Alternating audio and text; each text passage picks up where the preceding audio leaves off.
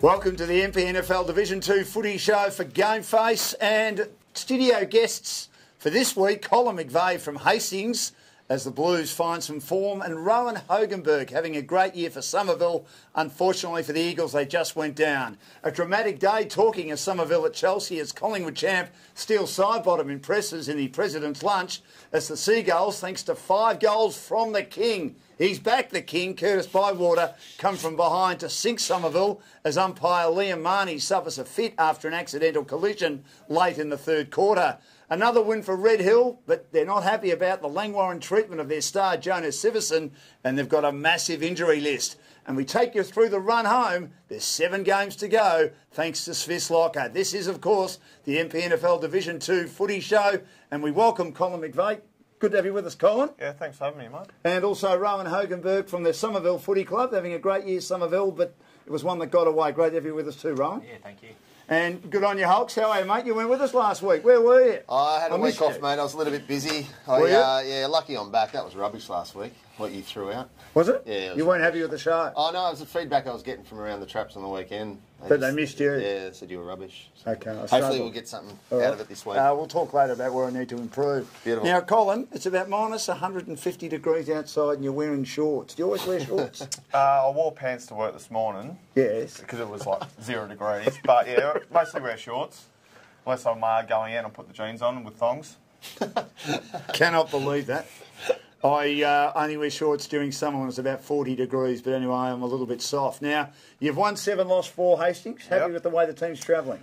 Uh, yeah, we're a little bit inconsistent at the moment. Just got to string four quarters together. Um, obviously, you boys know with the, the stats that came out, I think it was last week, um, just kicking efficiency in front of goals cost us a couple of games. And um, we've just got to tweak a few things and hopefully we can get a few more wins coming in the last seven rounds. And how's Fed been?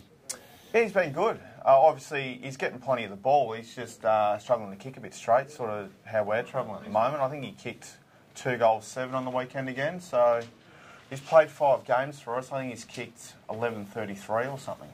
You have a reputation of being one of the best readers of the play. Yep. Why are you so good at that, you think? I think probably I played forward when I first started coming up in the seniors and, uh, you know, sort of take it from that and, you know, being able to read the play, being a forward, it sort of makes it a little bit easier going down the back line, I think. So, uh, that's what I put it to. Are you concerned that you've struggled against the, the top sides a bit this year so far? Yeah, a little bit concerning, um, but we understand that we're, we lost a lot of experience last year and we've had five debutants this year. Um, so we understand we're going to be inconsistent, but um, hopefully the last seven rounds we can uh, pull it together and play four consistent quarters and kick, kick straight in front of goal. I saw that game against Red Hill up on the on the uh, mountain up there. Yeah. Um, it seemed like there was a fair bit of a gap to make up. Yeah. Um, where do you reckon? Obviously, you need to improve to get more competitive with Red Hill. Yeah. Well, straight up, you got to play four consistent quarters. You can't you- you can't just play two or three quarters. Um, skill execution too. You know, if you turn the ball over against them, their two-way running's unbelievable. So, and also too, we need to be two-way runners as well. So, as you as you're probably seeing this year, any team that doesn't do that against them, high-scoring side, and, and Yeah. they'll put you away early. They win a lot of ball around the contested Yeah. area too, and get Yeah, it forward. and just their work ethic too is just unbelievable. And they use it so well, don't they? Yeah. That's, that, that's been your strength. Rowan, congratulations on 100 games. Uh, you must be delighted with that. Your team's having a really good year, but that must be one that you're still thinking about that, that got away. I know the coach is. He was he was really disappointed on Saturday night because you had that game in the bag for a large portion of it, and even when the rain came down, you were almost four goals in front before half time. No, it's pretty. It's pretty hard to swallow. The boys, you know, put in a good effort. It was unfortunately came down to the last quarter against Chelsea, and then yeah, we just probably didn't kick straight when we needed to, and they got on top of us, and we're really disappointed about it. But we're showing signs. We're a young side, so it's good that we can compete against sort of the better teams in the comp. Little bit of ill discipline too. The Curtis Bywater goal after the, the first goal was kicked by Jesse Davies before it went back to the middle, and then there was another one I think he got later on, 50 minute penalty right on half time, which reignited their Yeah. uh, their performance. Yeah, that's um, something that we're trying to improve on. There was a few uh, undisciplined free kicks that gave them the goals in the end. They win by five points, and that's what wins them the game. So, still things that we can sort of get out of our game that could have, um, yeah, helped us win. But very disappointing. You're on a cracking year though on a personal note. Um, done anything different through the pre-season or or lead into this season? Um, nah, it was just probably the year off last year. Just Yeah. kept me sort of freshened me up a little bit and got me sort of um, a bit more keen to sort of um, get stuck in a lot more. So I haven't really changed anything. I've always loved playing footy, loved training. So Yeah. haven't changed anything, but just enjoying the team and playing with the boys that we've got now. So Was that uh, was it to go through the police force? Was it or not? yeah, just um, just through work commitments and stuff like that. I just Yeah. decided um, just to focus on that for a season. Yeah. Um, then come back this year and then I'll be right to go. So the body's fresh. Yeah, it's still probably 11, 11 games in now. It's a bit sore, so but um, still feeling all right. How old are you now? Uh, 25. It gets worse, mate. It gets Yeah. worse. What's the, oh, good on you, Holtz. Gee, we've got a player's had a year off. He's come back, and Oh, you've mate, 25, got, he's a pup. Got stuck into it and said to him that uh, it just gets harder the Oh. older he gets. What's it like being a policeman, right? Um, it's enjoy. It's, it's interesting. Actually, I I work around the Hastings area, so. Well, you um, might have bumped into Cole a couple of times. during the I, I live in Sunny. I see him walking his dog every now and then. So Nah, it's interesting. Yeah, you do. You get to do a lot of different things. Um, it's quite. Yeah, it's all over the shop. So I, I love it. It's good fun. yeah. Now you've got a new president. Does that mean a change in culture a bit? Um, yeah, a little bit. Obviously, every time a club gets a new president, there's always going to be some sorts of changes. Um, he's coming from sort of a junior background and everything, and um, yeah, he's, he's been great for the club. Um, loves the boys, loves the club, and he sort of does his side of thing, lets the boys take care of footy, which is how I think every footy team likes to go about it. So, yeah, Anyone who can keep the Gillis boys in check's doing a good job, I think. Yeah, I, I, I want to ask you about Ryan Gillis. I got a good look at him close up at three quarter time, and I didn't know. I knew I knew he had the the funny haircut, Yeah. but it, but I didn't realise that he had the tats that uh, actually Yeah. covered his entire head. D- d- does he have a tat in every part of his body that you've seen so far, Rowan? Yeah, well, he's um, as you say, you've seen so he's a pretty ugly looking dude. So he tries, to, he tries to get the tattoos to cover up as much of his face as possible. So I think that's good for everybody. So yeah, I They give, away, they give away three 50 metres in a row at Mornington one day. It. He's um, He fires up. Oh, I mean, he missed a couple of bad. shots that were crucial for The you. thing about him, I don't like talking about him too much because everyone likes to talk about him. He, we'll get to training and that's all he'll be saying. Gil, Gil, Gil. So I'm not The G-man. the- Yeah, pretty much the G-man. So I don't really want to say too much, but he, as much as stuff he gives away 50s or 50 free kicks, he does um, does as much for the team positively as well. So he kicks a lot of goals and he, um, he plays some good footy. So that's what we have him there for. So his brother's a polar opposite. He's such a good. Like, when he well growing up, Yeah. he's such a good kid. He, he was quiet. I don't know what he's like now, but and uh, uh, he's, he's still, oh, yeah, Nathan's a ripper. yeah, Um, he is a cracker. Yeah, he's good. They're, they're both good in their own right. They just go about it a different way. So good on them, I reckon. Now, I had a good chat to Brad Canavan after the game on Saturday. Obviously, he was very disappointed, and I was sort of standing near him in the last quarter, and he wears his heart in his sleeve.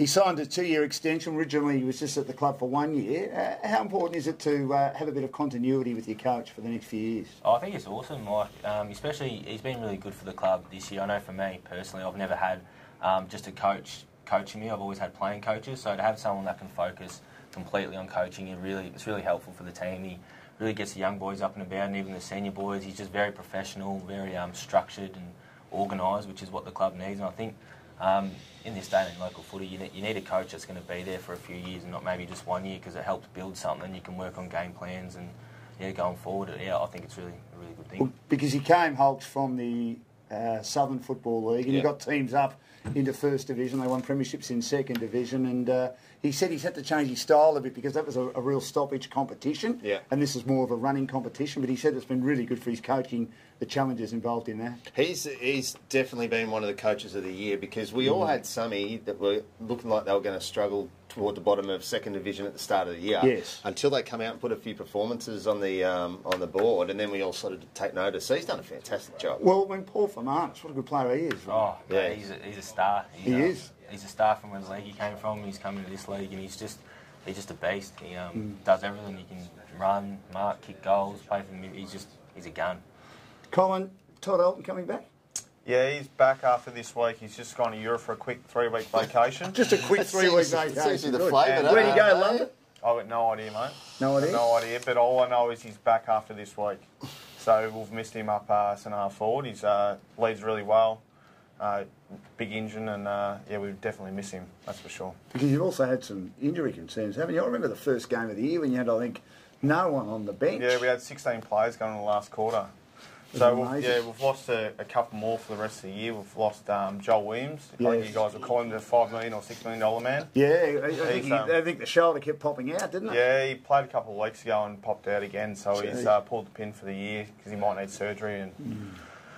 and yeah, so uh, we've still got Terry Green out with it. He did his ankle up against Langwarrin, Hmm. um, so he, hopefully he's back this week or if not next.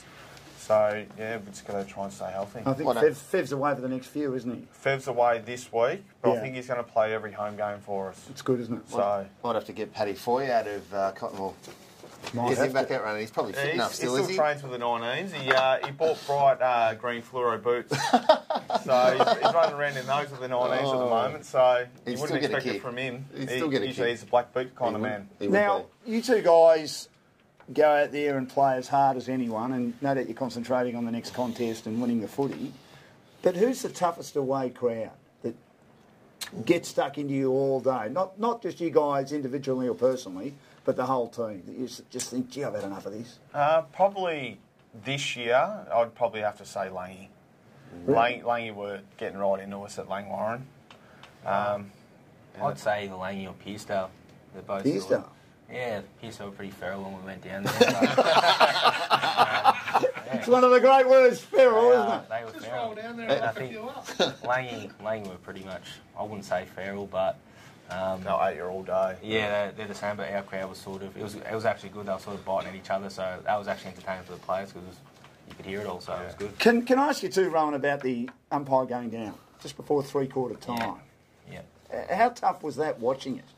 Um, it was pretty. Yeah, you probably you feel for the umpire. Like he went down um, pretty hard, and I guess we didn't realise it was a fit until sort of a bit later on. So it was pretty worrying and hard to see. You, know, you don't want to you don't want to see anyone like that. So um, I think the trainers that came out and helped that day and everyone involved did a really good job in helping the young fella. And I think he, um, someone mentioned before he's recovering pretty well and It's he's all good. good. So So I think Ryan was about to have a shot, wasn't he? You had to wait five to ten minutes to have Uh, that shot. It was Paul Fermanis. Oh, Paul Yeah, so Fermanis, was playing right. fit, so we're trying to get in his ear, tell him that, to, to slot it, and yeah, maybe sock him out a little bit. But Cool. well.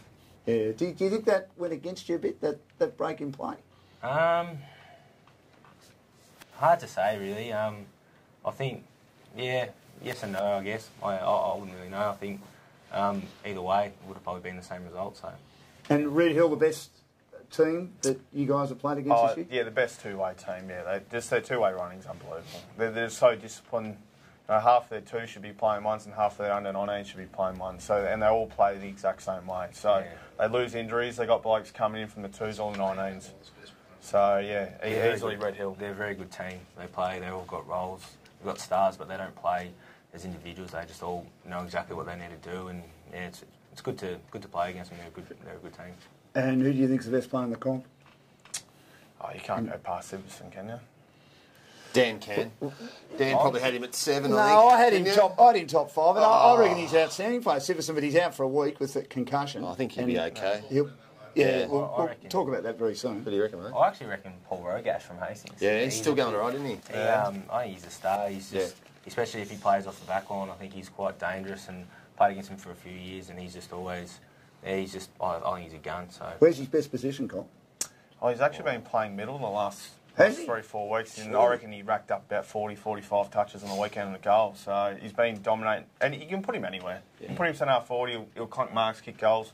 Put him in the guts, he'll have 35, 40 touches. Put him in the back line, he'll take Mm. 20 intercept marks. So he's just a, uh, a, a, can, yeah, a solid leader, and he's he's a fantastic for our club. I think in, if you're in a top, like in a top level side and his Hastings are going well, I reckon halfback flank every day of the week. You can just have the Yeah, luxury He gives, of having gives you a lot there. of run and drive, yeah. You That just hope you're not playing a final if you make the finals Yeah. on a Sunday because of his commitment to the Northern Junior Football League. Yeah, it's a bit hard, but obviously Mm. work, work comes first, and you know we, we knew that coming into this year that that would be the issue. But you know you, you don't think about it; you just go out there every week and just try and play a game. You'd Won a rather have grand final, won a grand final against Franks, and he took 23 marks Did or he? something one day. It was ridiculous. Yeah, we actually we watched it on Mad Monday, Oh.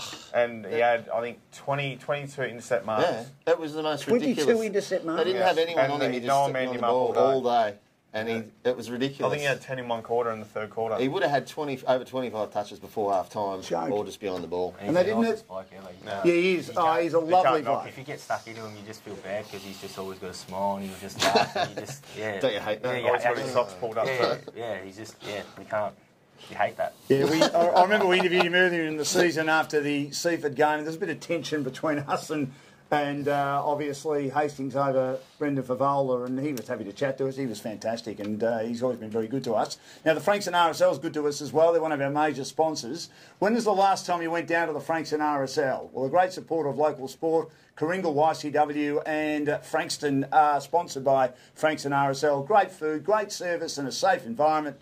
Do yourself a favour, great Molly Meldrum phrase, and visit the Frankston RSL. Now, a dramatic day at Chelsea, as we said, Collingwood champ, Steele Sidebottom. He impressed at the president's lunch. I was told by my boss and by the Chelsea president, Michael Davis, not to ask a question hulks about Jaidyn Stephenson, but I don't tend to listen. Did you And, it, did we- ya? oh, we, I did, and he was quite, he was more than oh. happy to chat. And I just said to him, How is the young fellow? He said, What's the big issue of the week? We've got to talk about it, Dan. He said, I can flap bat it. Yeah. And he did, but he, he, ha- he handled the question really well. And um, he's a really impressive fellow. What a good footballer he is. And um, it was absolutely sensational to have him there. And Good country he had- boy, mate. Yeah, he had the crowd transfixed. Now, Somerville looked set to win the game, but they were goalless in the last quarter. You had your chances, Rowan, didn't you? I mean, there was a, a shot by uh, Ryan Gillis. There were a couple of other opportunities, but uh, they just managed to close you down, and you couldn't get a handle on Bywater, who returned to some best form. Uh, I think, as he said, it says the King Curtis Bywater, but he, I think a few of his goals. Who calls him the king? Yeah, I don't know. It's where that come self-proclaimed. He He, calls himself the self-proclaimed. king. he calls himself the king. I didn't know. He who said he, that. I didn't know who he was until I played against him on Saturday, and I think. I think yeah, but I think um, no, he played alright. But um, he um, I think the umpires. I think he got a few free kicks. So out of the five, I think I two or three of them were actual free kicks. So He does get into the umpires. Yeah, I he think- whinges. Does like he? A, prin- yeah, he whinges like a princess. I think a few of the Chelsea boys. This do, is but, great. Um, they, When have you guys got Chelsea? And then I look forward to Uh, that because you might you might play him, Carl. I think a couple of weeks. I think. Right. Okay. Yeah. Todd, Todd Gardner in the second half, and I, I went into the huddle and heard Brad say at three quarter time, one man has got them back into the game. Who's meant to be tagging him? Because he had been tagged out of it in the first half, and he, he just got off the leash in that third quarter, Todd, didn't he? Yeah, well, he you know just dropped to his knees a few times, and I guess got a few free kicks. But no, he's the old Taylor straight. Yeah, exactly. No, he's a good player. Um, I think yeah, whenever someone's a good player, you're not going to keep him down for a whole game, so he's going to bob up at some point. He's a, he's a beautiful kick of the footy, and he kicked him some clutch goals. So yeah, Do you I think the umpiring left a little bit to be desired, Rowan? uh, a little bit, but I think I'm not going to say too much about You, that. you cop but- it every week. Umpires make mistakes, Yeah. and you, you know supporters think you know calls should be made, but you know it's just the way country Yeah. footy goes. Isn't it? They even make mistakes in the AFL, so There's a common theme at the moment with the Division Two, the love affair with uh, with Chelsea, because Cribby were in and Zach and uh, Devon were in and Paddy both said the same thing that Chelsea were not their favourite club of all time. Yes. Yeah, it's starting to become a theme, isn't A it? little bit, yeah. but it's I'll tell you what, they were in the rooms. They were delighted that they had a win, and we were lucky enough to catch up with uh, Curtis Bywater, who, of course, kicked five. Todd Gardner, as we said, superb also with two goals, but a, a terrific result for Chelsea, and they were relieved and also delighted after the game. Now, I've got Curtis Bywater with me. Do you call yourself the king, or do the boys give you the nickname the king?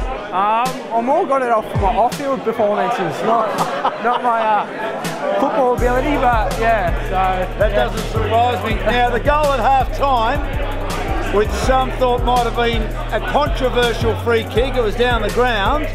Did you feel that gave your team the self belief it needed? Because you weren't great in the first Oh half. no, were we were scrappy. They were, I think they were just first to the ball.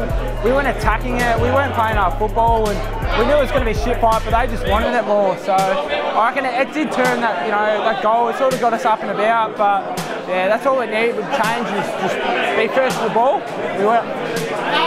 Yes, great win by Chelsea. As we mentioned, umpire Liam Marnie was involved in an accidental collision with a Somerville player. How was the your Somerville teammate regarding that? Um, Rowan, did you have to get around him a little bit? Did that affect him for the rest of the game? Um, I don't think it affected his game. He obviously felt bad about what had happened. Um, he's a good bloke, so he, he obviously didn't mean um, for the collision to happen or anything like that. So he, yeah. And it was a really nice touch by the crowd. They clapped him. It obviously held things up for a few minutes, but he's going to be okay. Now, talking of incidents, uh, Red Hill have had a win, but a few injury concerns for Red Hill. Uh, Sean Holmes has got a foot. He'll be back against Karingal. A lot of these guys returning uh, Hulks. Sean Holmes has got a foot. Yeah, he's got a foot injury. Oh, Tom. McEnroe's got a back, but a back right, injury. rightio, Smarty, mate. thank, Thank you. you. Uh, Jonas Siverson will discuss that in a second. Concussion, he'll be right for Karingal, as be. will as will Harry Wynn Pope with his um, ankle injury. Chris Irving, a back injury, should be right this week or next. Andrew Mock, an arm, gone for seven weeks. Michael Mock, a knee. He's likely to play. He'll have a test. And Trey Dawson, a wrist, out for seven weeks. But let's have a look at the footage of the Josh Biggs tackle on Jonas Siverson. It's created a lot of controversy around the competition.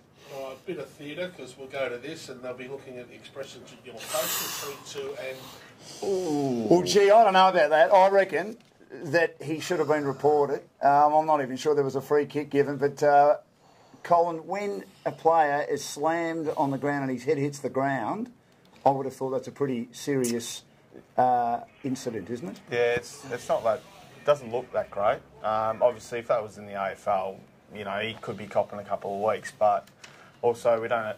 It's on footage, so uh, it didn't get called. But um, it's sort of up to the league what they want to do with it.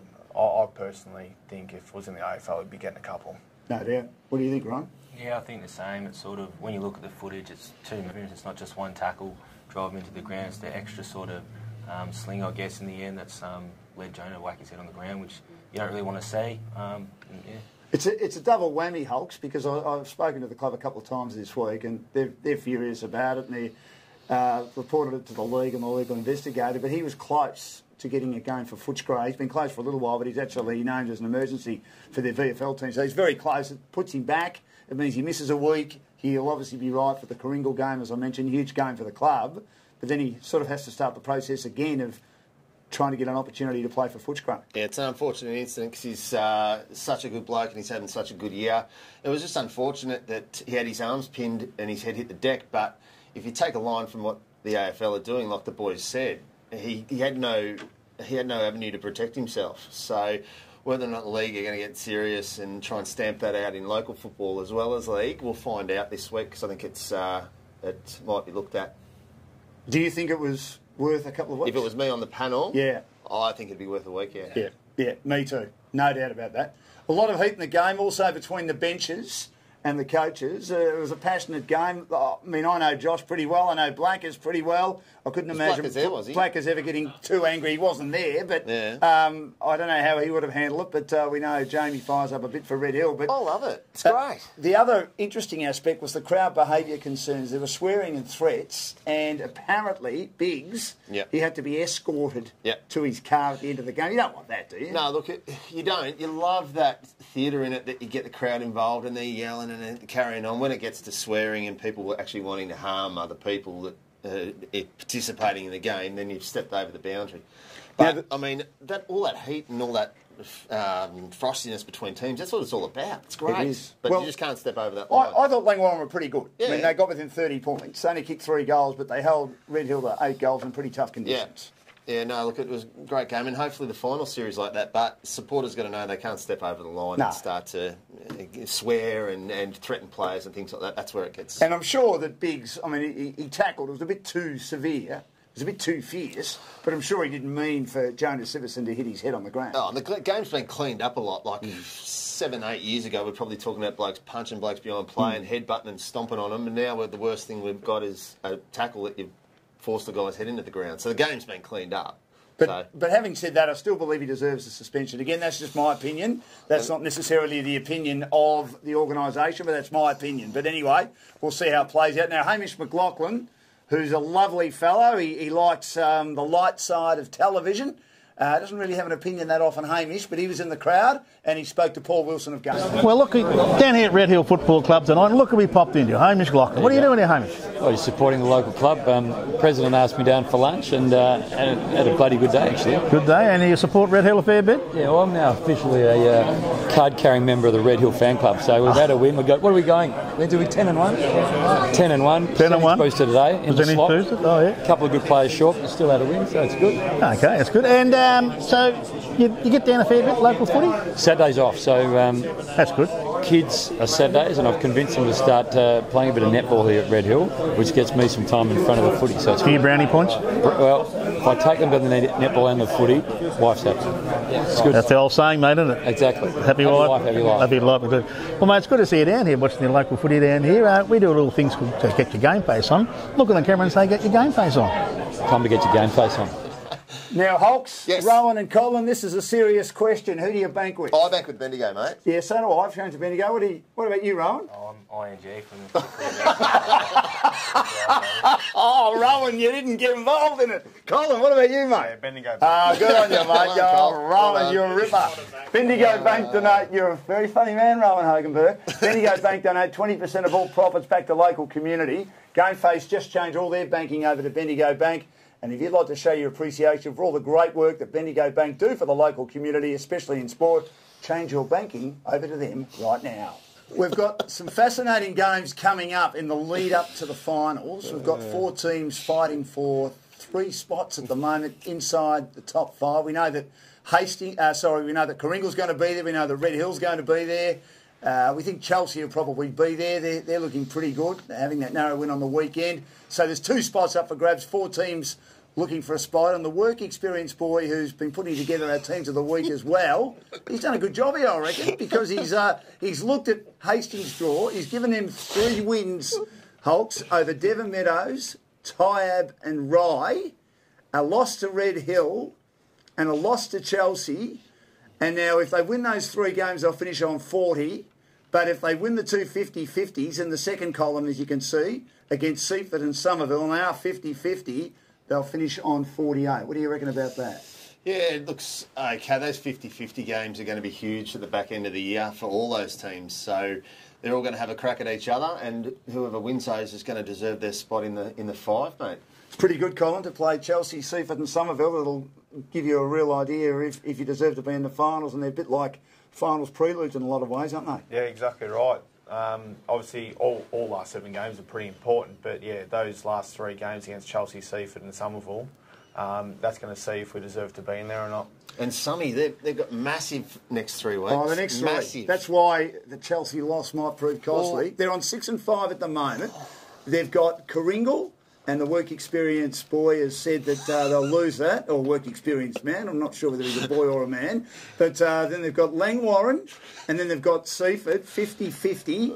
And then after that, Tyabb, Pearcedale, and Crib Point, and 50 50 for Hastings. So if they win the three games 36, if they win the three that are 50 50, they finish on 48. It all could come down to the match of the day, Rowan, against Colin's Hastings team. And uh, you've been playing some good footy. It's just a matter of putting it together for four quarters. Yeah, that's the thing. We're probably similar to Hastings. You know, we play good some weeks, good some bad some weeks. So it will come down to that last game. And Kringle, Kringalangi and Seaford, I think it, all three of those games are winnable games. So if we can jag a couple there, um, we'll make it pretty interesting. Do you reckon they can win two of those next three? I was just about to ask, have you beaten any of those sides through there? Langy, Seaford, Hastings. Um, well, we beat Langy and we Yeah. lost to Seaford by just a point. Yeah. Um, so, uh, as I said, Kringle's probably could be the tricky one, but I think we're more than capable of getting Yeah. on top of them. So, I think yeah, it's definitely a winnable game.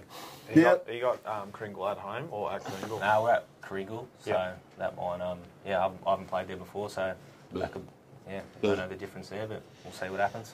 Should be an interesting day. Now, Pierce, uh, now Seaford have got Pearcedale, Karingal, Somerville, Langy, Crib Point, Hastings, and Rye. They've got a reasonably good draw. Uh, our work experience friend, we're calling our friend, says three definite wins, three 50 50s. So if they have the three wins, they're 40, as you can see on the screen. With the 50 50s, if they win those, 52. The only loss penciled in is to Karingal. What do you reckon, Hawks? Yeah, Seaford are sort of thereabouts, aren't they? It's, Have been all year, haven't they? Yeah, they- they don't really put their foot down and say, "Yep, we're here. We're a real contender in second division." They haven't done that yet, so they've gone against Kringle, got wiped, and same as Red Hill. So it's going to be an interesting couple of weeks. You guys beat them in a ripper early in the year, didn't you? It was a really good game yeah, of it was a really good game of footy. Well, I think we we're eight points down going into the last, and uh, we ended up sneaking sneaking by and by six points, I think. Yeah. So that was a ripper game. Yep. And Langy, uh, they'd be disappointed they lost last week, but they had won five in a row before that. And, uh, well, our work experience colleague has only got two wins for them, definite. against Tyabb this week and Pearcedale in the second last game, and uh, a loss to Red Hill in the last game, and 50 50s against Somerville, Chelsea, Seaford, and Karingal. Basically, teams that they have to beat if they are to finish inside the top five. They got their work cut out from them, haven't they? They got have. massive, massive uh, month coming up. So yeah. They're getting a few good players back, which will which will help their cause. Again, all this just points to the fact that if you're going to win games at the back end, you deserve to be there. Correct. And Yep. they did it last year. So we've got a magnificent run into the finals. And Chelsea are there at the moment and going all right. I'm still not 100% convinced about Chelsea, but we'll, we'll see how they go. Let's check the goal kicking. Uh, Mark Holtz on 53. Of course, they didn't play last week. Karingal. Uh, Jonathan Ross continues to kick goals, the man with the guns, two to go to 44. And thanks to everyone too for all their uh, insults towards me about how ugly I am. And even though my arms are stronger than John O'Ross's arms after we had the flex off last week, Aaron Walton kicked a couple to go to 39. Uh, my ex-wife even said to me, "You are too skinny." First time she said anything about me, uh, which means she might care about me in recent times. Anyway, we'll move Where on. is this show going? Ryan Gillis kicked a couple. you said it didn't go anywhere last week. I'm trying for it to go in a more Oh, comedic uh, fashion this week. We I hope the boys might agree. Harry your one to go to 31. I won't be doing that. Michael Theodoriadis uh, is going okay as well. And Curtis Bywater, five to move to 24, having his best uh. game of the season. Now, boys, uh. we can get you out of here in a second, Colin and Ryan. I'm sure you've had enough of me. Big game, Karingal and Somerville. Who wins, Holtz? Oh, Somerville for sure. Oh, I think I think Somerville have a chance. Thanks, I think they're a massive chance. No, look, funny, isn't it? I do. I think it's very. Is Holty playing? I love this man. Is Holty going to play? He's got a dry Holt's sense of fine. humour. Yep, they had a bite. Okay, oh, What? I'm just checking my car out the front there to make sure the wheels haven't been cleaned. I'm, go, I'm going for Somerville. I Because the personally great think man's next this could be the week that Karingal might have an upset. So I- I'm 50-50 game, but you know, if somebody turn up and play four quarters, He's trying to throw his weight around here, isn't he? That's great. I might, might get the sack. I actually work for Dunny, so Oh, there we go. That'll be a fascinating game, that. Now, Chelsea travelling to Crib Point, and Alastair Clarkson will be appearing at Crib Point in the next couple of weeks, and Game Face will be down there. So can't wait to speak That'd to the great man. There's been talk that he might be going to Carlton, so No. I'll be asking He's hard questions in the next mate. couple Give of weeks. I wonder what he'll say to me when I ask him that question. He'll probably look at me strangely. Most people do. gonna Anyway, have a so who shirt on? cares? Oh, I'll have a shirt on. Thank yeah. God. Now, Right Chelsea won't have James Brain. The skipper's out for the next couple. He's done a hammy, so he's out for the next couple. They'll still be But, right uh, against they'll, they'll, they'll beat Crew They'll Point. be They, right. they need to win that. Langwarrin will beat Tyabb, boys. yeah. Danger game. They can't drop it, or else the oh. next month turns into absolute rabble. Tyabb Yeah. challenged Karingal a couple of weeks ago. Yeah, they haven't lost Should have beaten point. them. Yeah. Five rushed behind by Mark Holt. I So if Todd turn up, turn up and play, it could be a good game. Yeah. But you know, Lang- Langy when we played, they just ran over us in the last quarter. So you know, if they play four quarters, they, they can beat anyone. I'll as well. take Langy on They'll that. go one. in. They'll be. I reckon they'll be probably maybe potentially be a bit cocky, Langy, and tired. Will be one of those teams that come out and jag them there. Good. I can like see it. that happen. I like Big it. game, that. Pearcedale against Seaford. Seaford just need to win this, even though it's at Pearcedale. They'll, they'll win comfortably. Yeah, they're a bit smelly at the moment. Pearcedale, so see if it'll win this. Oh, I don't like you saying that. No. Rye, Rye against Devon Meadows. Uh, 50-50 game. Uh, nah, Devon will win that. Yeah, I reckon Devon. Who's Yeah. anyone out for Rye? Uh, don't Tieran. Head due back this week. Yeah. Will Cooper due back probably this Just you week. got your finger on the pulse there. Matt McIndoe, 200th game. Adam Kirkwood, thanks to Adam for coming back to me today on that. So, uh, big game for the club, for Rye at home against Devon Meadows. I think they'll win that. And Hastings and Red Hill. Why will you beat Red Hill, Colin? I'll take Devon, by the way. You didn't get my tip. Okay, I'm I, gonna take I heard Devon. that. No, I think Rye. Well, we've got to play four quarters and, and actually get the ball in forward and, and convert. So, and two way running. So hopefully we can put all that together and uh, put ourselves in the game. You might have got them at a good time. I know you said they've got a lot of depth in their reserves, which they're unbeaten Oh, on top they've- and they've got under the best- 19s, they've but the they've still got a lot of injuries. Yeah, well they do, but the, the th- good thing about them is, you know, half their twos should be playing ones and half their 19 should be playing ones, and they all play the same way. So, you know, the plays that they lose, they gain back. So, um, yeah, we just got to be on our A game and, and play four quarters and convert in front of goal. Thank you, boys. Been a lot of fun. Uh, Rowan, you've got a real dry sense of humour. We'd love to have you again. They get invited back on And we'd love to have both of you. You too, Colin. Always good, always good to have you with us, even though you're wearing shorts on a very cold day. I won't say you're a strange man because I'm the strangest of strange, strange men, as you've just seen today. But it's been wonderful having Rowan Hogenberg from the Somerville Footy Club and Colin McVeigh from the Hastings Footy Club. We wish you guys all the best for the rest of the season. Good on you, Hulks. Get Red your game face on. Get your game face on.